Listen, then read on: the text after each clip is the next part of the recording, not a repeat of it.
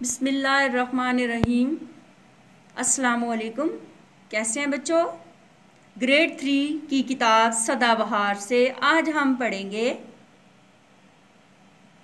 बिसमीम सफ़ा नंबर अठारह पे आज हम नज़म पढ़ते हैं कछवे कछवे एक दरियाई जानवर। कछवा हमने देखा है धीरे धीरे चलता है। कछुआ, गिरगट और घड़ियाल, एक घराने हैं, एक घराने के हैं लाल। ऊपर है हड्डी का खोल, कैसी नेमत है अनमोल? होते नहीं कछुए के दांत साबत गज़ा खाती है आंत। नदियों, रेगिस्तानों में, जंगल में, मैदानों में, बीच समुंदर दलदल में, पानी के हर छागल में। उसका रहना सहना है, मेहनत उसका गहना है। चलता है ये मीलों मील, उम्र है उसकी बड़ी तवील। कुछ कछुए तो छोटे हैं और कुछ कछुए मोटे हैं। कीचड़ का जो कछुआ है, वज़न में कद में छोटा है, वरना कछुए समुंदर के होते हैं अक्सर मन भर के।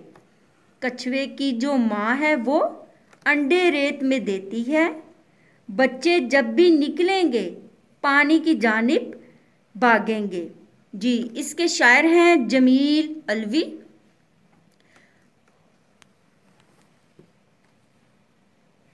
धीरे धीरे, आहिस्ता आहिस्ता। गिरगट, केरला, घड़ियाल। मगरमच्छ की तरह का जानवर। एक घराने एक ही घर के लाल फरजन लड़का, बेटा, होल छिलका, ऊपर का गुलाब। अनमोल, कीमती, नयाब।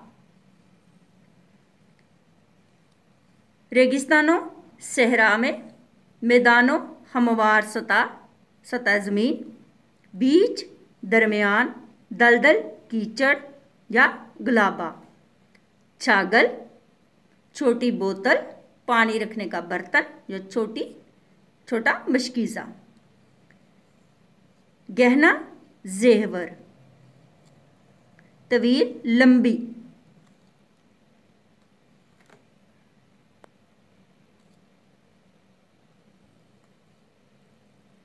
बागें, दौड़ें। जानिब तरफ़। जी बच्चों, आपने इनके नए अल्फाज और अल्फाज के मानी सुने। उम्मीद है आप लोगों को अच्छे तरीके से याद हो गए होंगे। अब आपने इनके नए अल्फाज और अल्फाज के मानी अपनी नोटबुक पे लिखने हैं और याद करने हैं। अल्लाह हाफिज़।